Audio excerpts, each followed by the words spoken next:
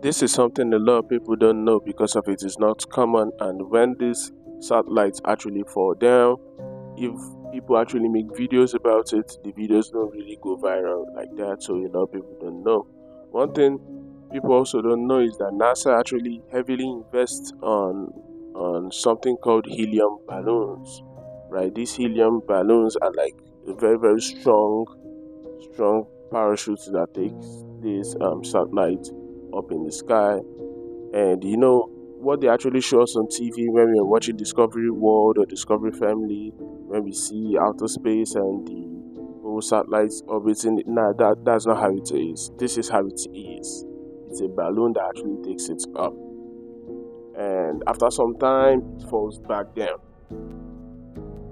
That's the truth. After some time, it falls back down. As you can see, it has solar panels on it, just to tell you that it is still on Earth. It is still on Earth. Never left this planet at all. It's still on Earth. This is another example that nothing leaves the firmament, nothing leaves this Earth. The way God created this place, He created it so that nobody will be able to leave. The only way you come in is you need to be given breath to. You understand? So this is just another proof.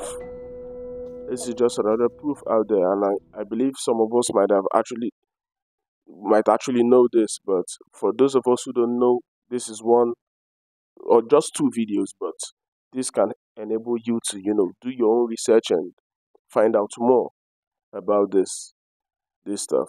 Because what they're showing us on TV, no, that that ain't it, guys. That ain't it. That's not the truth. That's fake. It's all CGI.